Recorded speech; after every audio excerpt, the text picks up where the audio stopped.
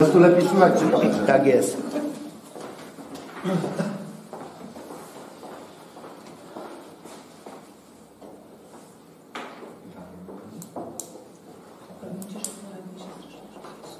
A jak ty będzie?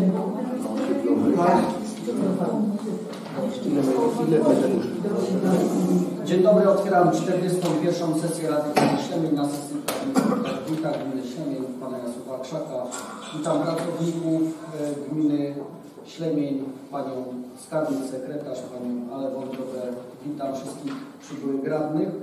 Na sesji mamy dziewięciu obecnych, dlatego obrady będą prawomocne. Pozwólcie, odczytam porządek obrad. Punkt pierwszy, otwarcie sesji, stwierdzenie prawomocności obrad. Punkt drugi, Zatwierdzenie porządku obrad. Punkt trzeci przyjęcie protokołu z 39 ses, y, sesji Rady Gminy Ślemień. Punkt czwarty informacje z działalności Wójta Gminy Ślemień. Punkt piąty projekt uchwały w sprawie udzielenia pomocy finansowej powiatowi żywieckiemu na dofinansowanie zadania z zakresu organicznego pu- publicznego transportu zbiorowego. Punkt szósty wolne wnioski. Punkt siódmy zakończenie obrad. Czy są uwagi do porządku obrad? Nie widzę. Przystępujemy do głosowania za przyjęciem.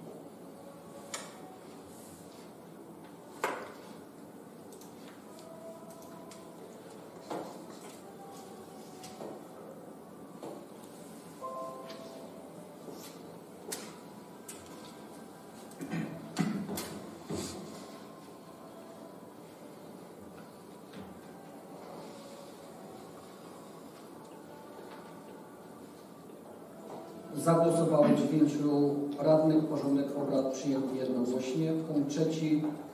Przyjęcie protokołu. Czy są uwagi do protokołu? Nie widzę. Głosujemy za przyjęciem protokołu.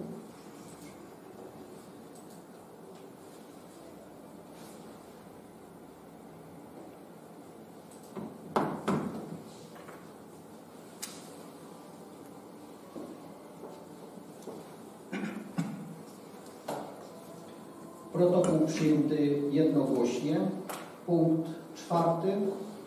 Informacje z działalności wójta gminy między sesjami i od razu poproszę wójta o y, punkt piąty kilka słów. Dziękuję. Dziękuję Panie Przewodniczący, Szanowna Rada, Szanowni Sołtysi, Szanowni Państwo.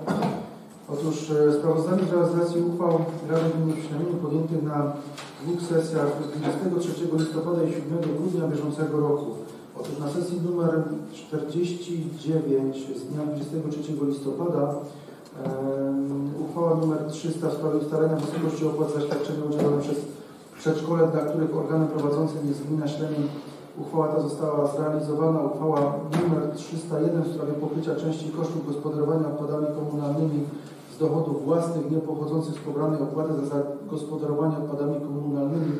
Uchwała ta została zrealizowana. Uchwała 302 w sprawie określenia wysokości stawek podatku od nieruchomości obowiązujących na terenie gminy Ślemień na rok 2023.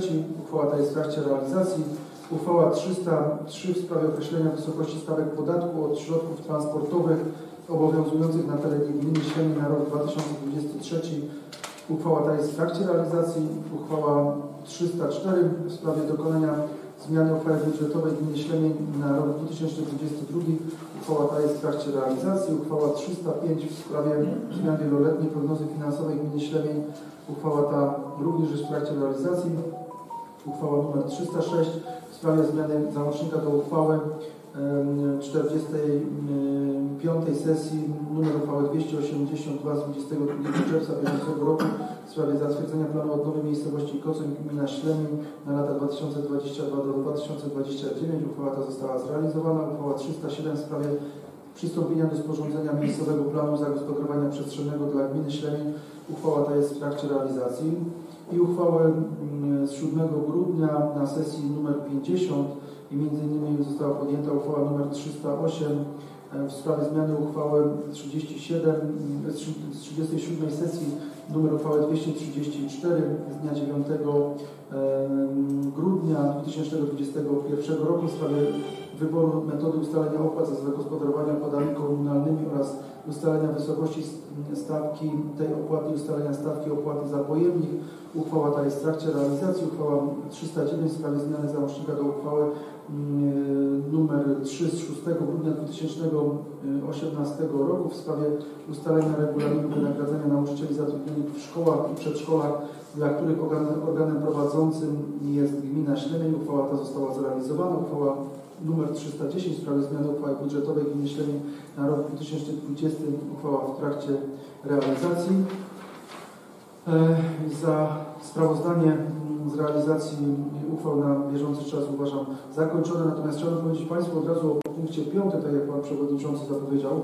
Otóż chodzi o to, że musimy tutaj uregulować sprawę e, dofinansowania zadania z zakresu organizacji publicznego transportu zbiorowego. Chodzi o, o te nowe kursy, które są od dwóch lat już na naszym terenie i one e, cały czas e, kursują.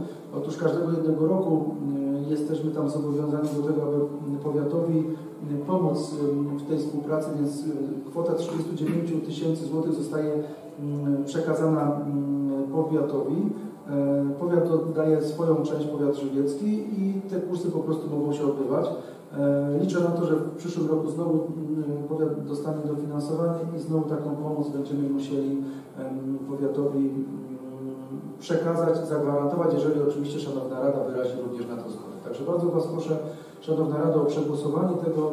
To jest kilkanaście kursów każdego jednego dnia, które e, jeżdżą innymi mm, do Żywca, do Suchej Beskidzkiej, e, przez Sołectwo Kocoń, no i częściowo również e, Las, ale oczywiście Ślemień głównie do Nowego Szpitala.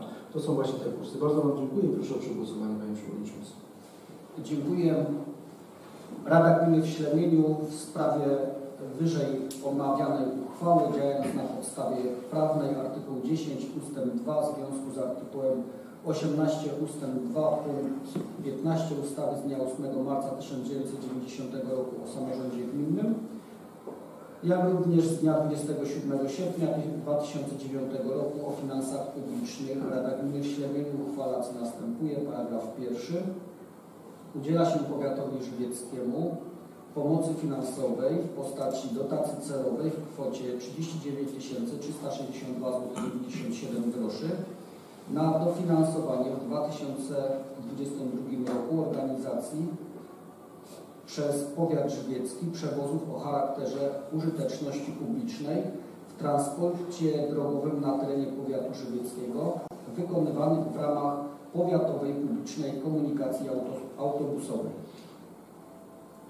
Pomoc finansowa, o której mowa w ustępie pierwszym, zostaje udzielona ze środków budżetu gminy Ślemień na rok 2022, a szczegółowe warunki udzielenia pomocy finansowej oraz przeznaczenie i zasady rozliczenia środków określone zostaną w umowie zawartej pomiędzy gminą a powiatem żywieckim. Paragraf drugi. Wykonanie powierzamy wójtowi gminy Ślemień. Paragraf trzeci. Uchwała wchodzi w życie z dniem podjęcia. Czy są pytania?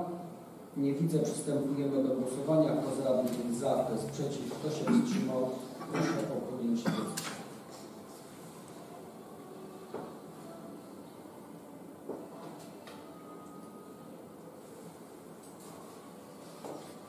Zagłosowało 9 radnych.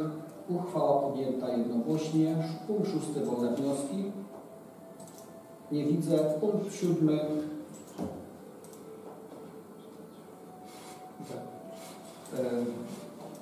podpowiada tutaj bardzo słusznie. To wobec tego wolne wnioski to dla wszystkich e, radnych, pracowników, jak również mieszkańców naszej gminy. Proszę przyjąć serdeczne życzenia z okazji świąt. Dużo zdrowia, szczęścia i pomyślności. Przechodzimy do punktu siódmego, zakończenie obrad. Dziękuję.